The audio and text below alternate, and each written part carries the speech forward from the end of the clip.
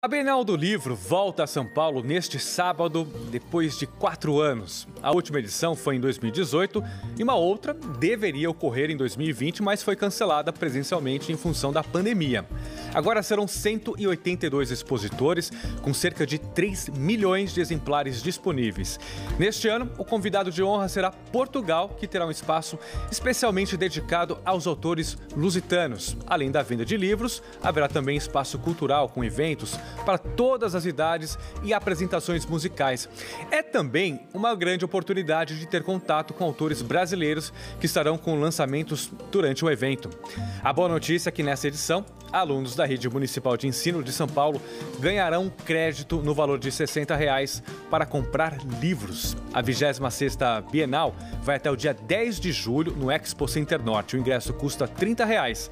Menores de 12 anos e maiores de 60 anos não pagam a entrada. Agora